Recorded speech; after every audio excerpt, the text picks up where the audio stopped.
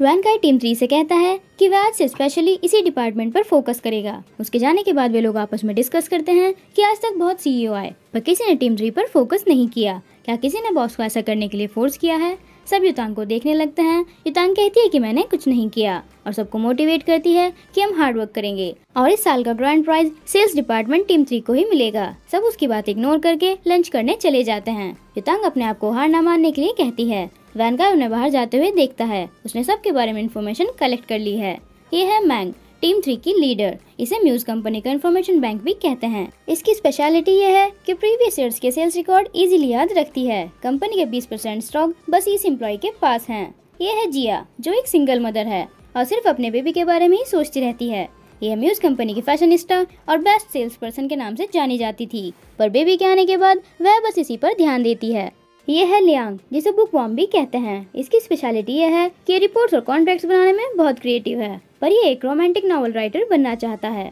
ये है जियांग, ये म्यूज कंपनी में कैशियर बनकर आई थी, पर उसे सेल्स डिपार्टमेंट में ट्रांसफ़र कर दिया गया। ऑफ़िस में ये बस सोती रहती है और लंच टाइम पर ही उठती है। ऑफ़िस से बाहर आते ही ये सुपर मॉडल बन जाती है।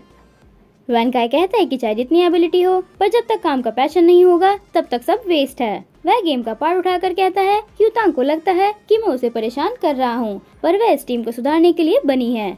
आयशा उसे डायरेक्टर जैंग के साथ मीटिंग के लिए रिमाइंड कराती है। युतांग ने भी फ़ोन में डायरेक्टर जैंग की मीटिंग का रिमाइंडर लगाया था। उसे याद आता है कि डायरेक्टर जैंग को एक्स्ट्रा क्रीम और शुगर वाली टी पसंद है।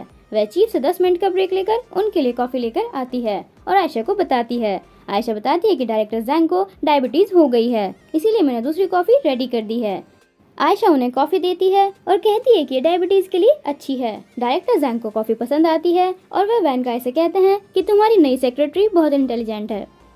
वैन का युतांग से कहता है कि तुम्हारा यहाँ कोई काम नहीं है। अपने डिपार्टमेंट वापस जाओ। वह युतांग को जाते हुए भी देखता रहता है। दो एम्प्लॉयज़ आपस में बातें करके आयशा को युतांग से बेटर बताती हैं और कहती है कि उसे सीधा सेक्रेटरी पोस्ट से गार्बेज लाइक सेल्स टीम में ट्रांसफ़र कर दिया। युतांग भी ये सब सुनती रहती है। आयशा भी वहाँ कर ये सब सुन लेती है और उन दोनों को डांट कर वहाँ से भेज देती है।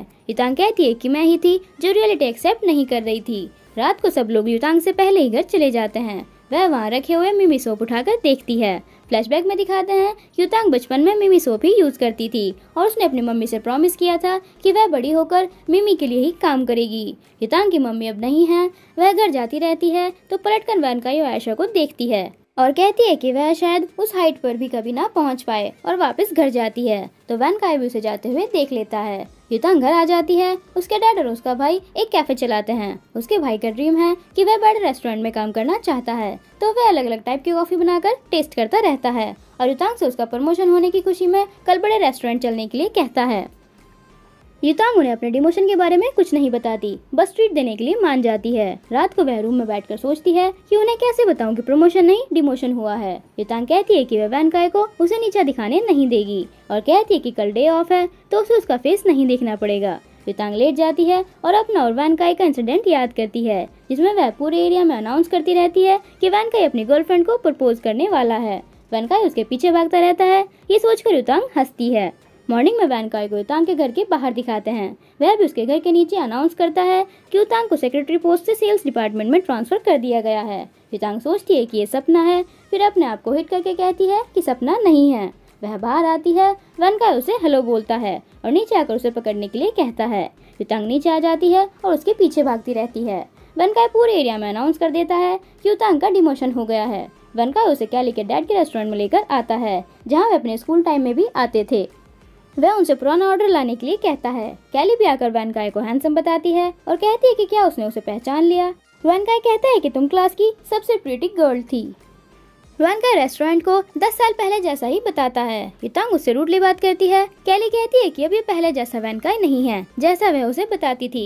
युतांग उसका मुँह बंद करती है, पर वैनकाय उसका हाथ हटाकर पूछता है कि और क्या क्या बोलती थी ये। कैली उसे सब बता देती है। उसके डैड दोनों के लिए आइसक्रीम लेकर आ जाते हैं और पुराने रूल की तरह ही पे करने के लिए कहते हैं। रूल ये था कि जो एग्ज़ाम्स में कम मार्क्स लाएगा, सामने वाले का बिल भी वही पे करेगा। युतांग हर बार फ़र्स्ट आती थी तो उसका बिल भी वैन का ही कोई पे करना पड़ता था। वह उसे चढ़ाकर खाती थी कि फ्री की डिश टेस्टी लगती है। वह उससे 58 टाइम्स बिल पे करवा चुकी है, पर इस बार वैन काय की पोस्ट युतांग की पोस्ट से बड़ी होती है तो विनर है जी वैन काय कैली के डैड युतांग को बिल पे करने के लिए कहते हैं। वैनकाई उसे चिढ़ाता है। युतांग कहती है कि वो उससे पास का बदला लेने आया है। वैनकाई कहता है कि तो क्या तुम्हें ये लगता है कि मैं पिछले दस सालों से सो रहा था? अगर तुम ऐसा नहीं चाहती थी तो अपने आप को प्रूव करके दिखाओ। और कहता है कि मुझे नहीं लगता, तुम सेल्स डिपार्टमेंट हैंडल कर पाओगी। युतांग कहती है कि तुम्हें सीईओ बनकर खुशी हो रही होगी। तो अब सब कुछ हारने के लिए रेडी हो जाओ। वैनकाई कहता है कि तुमसे कुछ नहीं होगा। युतांग कहती है कि मैं तुम्हें प्रूव करके दिखाऊँगी। और बिना बिल पे किए वहाँ से चली जाती है। और वैन काय को ही बिल पे करने के लिए कहती है। उसके बाद युतांग शॉपिंग करती है और घर आ जाती है। उसके डैड और उसका भाई रेस्टोरेंट जाने के लिए रेडी हो जाते हैं। युतांग भी रेडी होने जाती है तो वहाँ वैन काय को देखकर शौक हो जाती है और पूछती है की तुम यहाँ क्या कर रहे हो? उसके डैड कहते हैं कि वह मिलने आया था तो उन्होंने उसे भी लंच के लिए इन्वाइट कर लिया। वैन काय उसे जल्दी से रेडी होने के लिए कहता है। युतांग अपने आप को अनलकी बताती है। चारों एक बड़े रेस्टोरेंट में आते हैं। युतांग का भाई वैनकाई से कहता है कि आज बिल वह पे करेगी। वैनकाई सबसे एक्सपेंसिव डिश ऑर्डर करता है, और वो भी चारों के लिए। युतांग शौक उसे देखती है। खाना खाते हुए वैनकाई युतांग के डिमोशन के बारे में बताने वाला होता है। पर युतांग उसे बातों पर कम और खाने पर ज़्यादा ध्यान देने के लिए कहती है, और इशारों में उसे बताने से मना करती है। पर उन दोनों को पहले ही पता होता है। वह कहते हैं कि अब तुम सेल्स में ज़्यादा अर्न कर सकती हो। युतांग पूछती है कि उन्हें किसने बताया? उसका भाई बताता है कि अनाउंसमेंट सबने सुनी है। उसके डैड वनकाई से उसके काम के बारे में पूछते हैं। वनकाई बताता है कि वह युतांग की कंपनी में ही काम करता है। युतांग उन्हें बताती है कि वह उसका बॉस है। दोनों उसको अच्छे से ट्रीट करने लगते हैं। युतांग पूछती है कि क्या उन्हें एम्बेसिंग फील नहीं हो रहा है? दोनों मना कर देते हैं। नेक्स्ट डे कंपनी के बाहर खड़े होकर युतांग कहती है कि वह दस साल पुराना टाइम वापस लाएगी, जब वे उससे बेटर थी। ऑफ़िस में जिया को एक मीटिंग अटेंड करनी होती है, पर वह अपने बेबी को बैठकर देखती रहती है और जाने से मना करती है। चीफ युतांग को जाने के लिए कहती है। युतांग वहाँ पहुँच जाती है और मिमी प्रोडक्ट्स को एक कॉर्नर में लगा देखती है। स्टोर ओनर उनके साथ कॉन्ट्रैक्ट खत्म कर देते हैं और कहते हैं कि अब वे मिमी प्रोडक्ट सेल नहीं करेंगे। युतांग सैड होकर वापस आती है। उसके हाथ से कॉन्ट्रैक्ट नीचे गिर जाता है। वनकाई आकर कॉन्ट्रैक्ट उठा लेता है और कहता है की उसे सब पता चल गया। युतांग कहती है की ये उसका पहला क्लाइंट था और उसने कॉन्ट्रैक्ट कैंसिल कर दिया। अगर वह हंसना चाहता है तो हंस सकता है। वह युतांग को रिलैक्स करने के लिए कहकर वापस ऑफ़िस जाने के लिए कहता है। हितांग उसके साथ कार में बैठने जाती है, पर वह उसे लिफ्ट नहीं देता और 20 मिनट में ऑफ़िस पहुंचकर मीटिंग अटेंड करने के लिए कहता है। हितांग रन करके जाती है। टीम थ्री अपने ही वर्क्स में लगी रहती है और बॉस के आने की आवाज़ सुनकर काम करने की एक्टिंग करते हैं। वैनकाय उन्हें काम रोकने के लिए कहता है और सबको सामने आने के लिए कहता है। हितांग भी पहुँच जाती है। चीफ उसे सीधा खड़ा होने के लिए कहती है। एक बड़ा प्रोजेक्ट योर्स जो टीम वन को दिया जाने वाला था वन वनकाई वह प्रोजेक्ट टीम थ्री को दे देता है और थ्री मंथ्स का टाइम देता है और कहता है कि इस प्रोजेक्ट पर उन सबको काम करना है। चीफ हंसने लगती है और तीन महीने का टाइम कम बताती है। वनकाई जाकर उनके कंप्यूटर्स पर वही स्क्रीन ऑन कर देता है, जो वे यहाँ बैठकर अपना काम करते हैं। वनकाई उन सबसे कहता है कि वह जॉब पहली बार नहीं कर रहा है। उसे सब पता है कि वे लोग क्या करते हैं। और चीफ की किचन देखकर कहता है कि उन्हें कितना टाइम चाहिए। सब उसे सॉरी बोलते हैं। वनकाई कहता है कि अगर तीन मंथ में काम पूरा नहीं किया तो वह सबको जॉब से निकाल देगा। और युतांग के पास आकर कहता है कि अगर कोई क्लाइंट कॉन्ट्रैक्ट कैंसिल करना चाहे तो उन्हें कुछ भी करके कॉन्ट्रैक्ट वापस लेना है। युतांग उसे देखती रहती है। वनकाई सबसे कहता है कि वह इस डिपार्टमेंट पर ज़्यादा पैसे खर्च नहीं करेगा। तो खुद ही जाकर लंच ले आना और डिसाइड कर लो कि कौन जाएगा। सब युतांग को छोड़कर साइड हो जाते हैं। युतांग सोचती है कि उसके साथ ये सब होना ही है। तभी वैनकाई किसी को अंदर बुलाता है। ये है चैन यू जो अपने आप को सेल्स गॉड बताता है। युतांग उसे देखकर अपना फेस हाइड कर लेती है। वैन का उन्हें बताता है कि उनका नया कलीग है। वह युतांग को पहचान लेता है। जियांग पूछती है कि क्या वे एक दूसरे को जानते हैं। चैन यू युतांग को अपनी एक्स गर्लफ्रेंड बताता है। वैनकाय चैन्यू को देखता रहता है। चैन्यू युतांग से बातें करता रहता है। तो वैनकाय उसे रोमियो बुलाता है और बातें करने से मना करता है और सबसे कहता है कि उनके पास थ्री मंथ्स का टाइम है। बॉस के सामने वे लोग ऐसा प्रिटेंड करते हैं कि वे प्रोजेक्ट के बारे में ही डिस्कस कर रहे हैं। वैन का युतांग और चैन्यू को ही देखता रहता है। उसके जाने के बाद सब लोग फिर से अपने काम में ही लग जाते हैं। युतांग चैन्यू को खींच बाहर ले जाती है। जिया कहती है की बॉस ने इतना बड़ा प्रोजेक्ट हमें क्यूँ दिया है? चीफ कहती है की प्रोजेक्ट दोनों नए मेंबर्स को ही हैंडल करने दो। आयशा वैनकाय को बताती है कि उसे ये तो पता था कि चैन्यू एक कैसन हुआ है, पर यह नहीं पता था कि युतांग भी उसकी गर्लफ्रेंड रह चुकी है। वैनकाय कहता है कि कोई फ़र्क नहीं पड़ता। बाहर युतांग चैन्यू से रूडली कहती है कि दोबारा यहाँ उसे अपनी एक्स गर्लफ्रेंड मत बताना। चैन्यू पूछता है कि उसने उसे कांटेक्ट करना क्यों बंद कर दिया था? युतांग बताती है कि मैंने तुम्हें किसी और के साथ फ्लर्ट करते हुए देख लिया था, और कहती है कि वह बस यहाँ एम्प्लॉयज़ की तरह रहेंगे। चैन्यू कहता है कि वह समझ गया कि पीस और लव के साथ रहना है। युतांग कहती है कि लव नहीं, सिर्फ़ पीस चियान कहता है कि वह यहाँ बस एक मंथ के लिए आया है। चैन्यू सबके सामने अपनी तारीफ़ करता रहता है। चीफ योर्स प्रोजेक्ट चैन्यू को ही हैंडल करने के लिए कहती है। चैन्यू खुश होता है और कहते हैं कि ये काम हो जाएगा। युतांग कहती है कि बॉस ने सबको काम करने के लिए कहा था। चीफ उनसे कहती है कि तुम एक्स लवर सीज प्रोजेक्ट को हैंडल कर लो। युतांग सोचती है कि वह पहले ही एक कॉन्ट्रैक्ट टर्मिनेट करा चुकी है। अब दूसरे बड़े केस का इल्ज़ाम नहीं ले सकती। और चीफ से कहती है कि चैन यू को ही दे दो। चीफ हाँ कर देती है। चैन यू कॉन्ट्रैक्ट देख कहता है की मैनेजर एक लेडी है। वह ये काम एक वीक में कर सकता है। चीफ बताती है कि एक मैनेजर मैन भी है। चैन यू की एक प्रॉब्लम है। वह लेडी से तो बहुत अच्छे से बात कर लेता है। पर अगर किसी मैन से बात करनी हो तो उसके गले से आवाज़ निकलनी बंद हो जाती है। ये सुनकर चीफ उसके हाथ से कॉन्ट्रैक्ट ले लेती है। जियांग चैन्यू के पास आती है। चैन्यू स्टाइल में पूछता है कि उसे क्या हेल्प चाहिए। जियांग उसे बाहर से खाना लाने का काम देती है। चैन्यू कहता है कि वह इतने हैंडसम लड़के को खाना खरीदने के लिए कैसे भेज सकती है, पर कोई उसकी बात नहीं सुनता और अपने काम में लगे रहते हैं। ऑफ़िस से बाहर आते हुए आयशा वैनकाय से पूछती है कि चैन्यू अपने काम में परफेक्ट है तो उसने उसे टीम थ्री में क्यों डाल दिया? वैनकाय उसे बताता है कि चैन्यू उसके गेम का प्लेयर नहीं था, पर वह सडनली आ गया तो कोई बात नहीं। आयशा कहती है कि अगर अच्छे एम्प्लॉयज़ भी उन्हीं की तरह हो गए तो वैनकाई कहते हैं कि फिर मुझे ही सब कुछ हैंडल करना पड़ेगा। मेरे टीम थ्री को सुधारने के एफर्ट्स वेस्ट हो जाएँगे। चैनी और युतांग खाना खरीदने आते हैं। चैनी उसे पास्ट की बातें ही करता रहता है, जब वह उसका बॉयफ्रेंड था। युतांग कहती है कि अब मैं तुम्हारी गर्लफ्रेंड नहीं हूँ। वनका और आयशा उन्हें देखते रहते हैं, वे दोनों भी उसे देखकर शौक हो जाते हैं और अंदर जाते हैं। वनका युतांग से कहता है कि प्रोजेक्ट पर काम करने की जगह वह अपने एक बॉयफ्रेंड के साथ घूम रही है, तुम्हें बस प्रॉब्लम से निकलना आता है, उन्हें सॉल्व करना नहीं।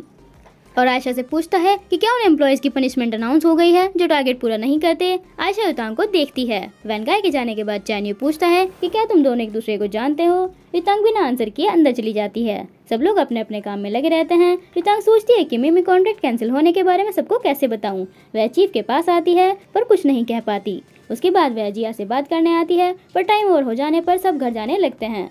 तो युतांग चिल्लाकर कह देती है कि कॉन्ट्रैक्ट कैंसिल होने वाला है। सब लोग कहते हैं कि कल देख लेंगे और चले जाते हैं। युतांग बाकर उनके पीछे जाती है और कहती है कि कल तक बहुत लेट हो जाएगा। आयशा भी ये सब देखती रहती है। चीफ कहती है कि हम कुछ नहीं कर सकते। सीनियर्स को हैंडल करने दो। युतांग जिया से कहती है कि उसे ही सिखा दो कैसे करना है। जिया कहती है कि उसे अपने बेबी के पास जल्दी पहुँचना है। बनकाई भी ये सब देखता रहता है। आयशा जिया से कहती है कि अगर उसकी जॉब चली गई तो वह अपने बेबी का ध्यान कैसे रखेगी? तभी जिया को कॉल आता है कि उसका बेबी आईसीयू में एडमिट है। जिया सॉरी बोलकर जाती है तो युतांग भी उसके साथ चलने के लिए कहती है। वहाँ जिया का एक्स हस्बैंड भी अपने बेटे से मिलने आता है और कहता है कि तुमने इसकी अच्छे से केयर नहीं की है। अब वह उसकी कस्टडी वापस लेगा। वह उसे हिट करके चला जाता है। जिया युतांग को बताती है कि वह कंपनी की सेल्स क्वीन थी और उसका प्रमोशन भी होने वाला था, पर शादी के लिए उसने सब कुछ छोड़ दिया और शादी के बाद उसका हस्बैंड उसे मारता था तो उसने डाइवोर्स ले लिया था। अब वह कस्टडी के लिए केस फ़ाइल करना चाहता है। अगर टीम थ्री को निकाल दिया गया तो जज उसके बेटे की कस्टडी उससे ले लेगी। युतांग उसे समझाती है कि अगर हम हार्ड वर्क करेंगे तो टीम थ्री को नहीं निकाला जाएगा। आयशा वैनका ऐसे कहती है कि वह मिमी प्रोडक्ट के लिए कंपनी से बात करेगी। इसमें युतांग की कोई गलती नहीं है। वैनकाई कहता है कि चली जाना। अगले दिन हॉस्पिटल के बाहर जिया युतांग से डायरेक्टर वू से मिलने के लिए कहती है, जो मिमी प्रोडक्ट का बेस्ट कस्टमर है। युतांग कहती है कि वह डायरेक्टर वू को कॉन्ट्रैक्ट कैंसिल न करने के लिए मना लेगी, चाहे उसे कुछ भी करना पड़े। युतांग उनसे मिलने आती है और सेकेंड चांस मांगती है, पर वे मना कर देते हैं। वापस आते हुए तांग कहती है कि वह हार नहीं मान सकती और स्टोर ओनर से ही मिलने जाती है, पर उनकी सेक्रेटरी उसे अंदर जाने की परमिशन नहीं देती और कहती है कि बॉस यहाँ नहीं है। जबकि अंदर बॉस के पास वनका और आयशा बैठे रहते हैं। वनका उन्हें बताता है कि उसने मिमी प्रोडक्ट का इंचार्ज किसी और को बना दिया है और उनसे उससे मिलने की रिक्वेस्ट भी करता है और उन्हें नए प्रोडक्ट के बारे में भी बताता है। बाहर युतांग छुपकर डायरेक्टर से मिलने की कोशिश करती है, पर उसे वैनकाय मिल जाता है। दोनों एक दूसरे को देखकर शौक हो जाते हैं। वैनकाय कहता है कि क्या वह यहाँ डायरेक्टर से मिलने आई है और कहता है कि कुछ भी करने से पहले अपना ब्रेन यूज़ कर लिया करो और वहाँ से चला जाता है। वहाँ की सेक्रेटरी उतान को बताती है कि तुम्हारे बॉस ने यहाँ नए प्रोडक्ट के बारे में डिस्कस किया। मिमी प्रोडक्ट का तो नाम भी नहीं लिया। वितान शौक हो जाती है और बाहर आकर सोचती है कि क्या मिमी प्रोडक्ट उसके लिए ट्रैश है। वह वैनकाई की कार को आते हुए देखती है और जानबूझकर उसकी कार के सामने आ जाती है। चोट तो उसे हल्की ही लगती है, पर वनकाय को आते हुए देखकर बेहोश होने का नाटक करती है। वनकाय आकर उसे चेक करता है और आयशा से एंबुलेंस बुलाने के लिए कहता है। तभी उतांग अपनी आईज ओपन कर लेती है और उसे रूट बताती है और कहती है कि अगर वह डायरेक्टर से मिला था तो मैं प्रोडक्ट के बारे में भी बात कर लेता। वनका चिल्लाकर कहता है कि उसे ऐसा मज़ाक नहीं करना चाहिए।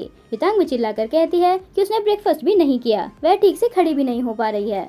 वनकाय कहता है कि दोबारा ऐसा मत करना, वरना तुम्हें पछताना पड़ेगा। युतान कहती है कि तो निकाल दो जॉब से।